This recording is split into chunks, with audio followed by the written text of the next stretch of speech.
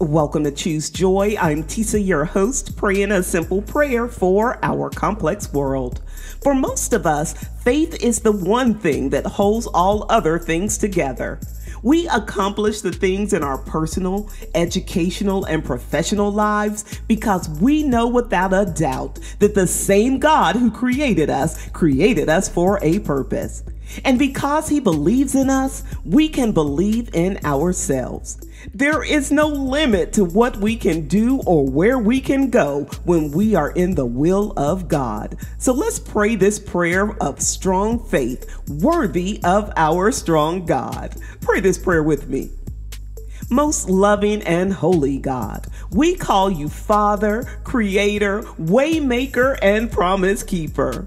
Great is your faithfulness to your word, O Lord.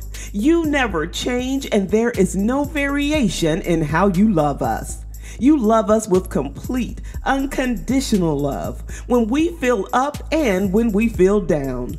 We declare today that we trust you and we know your word is true.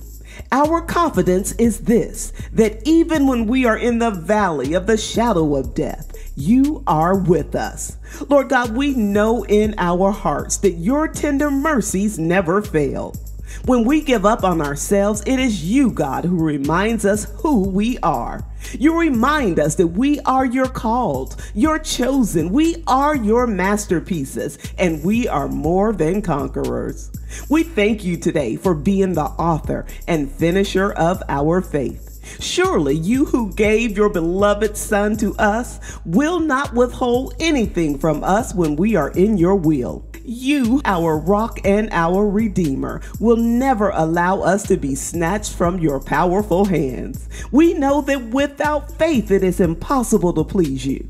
So we will be steadfast in your word, renewing our minds daily through the power of your spirit who lives in us. It's in the mighty and matchless name of Jesus that we pray. Amen. Thank you so much for praying with me here today at Choose Joy with Tisa. I am encouraged today, and I hope that you are as well to remain steadfast in faith. Our God will never let us down. If you're listening on YouTube, go ahead and subscribe before you go and share this prayer with a friend. Until next time, I pray that you choose joy.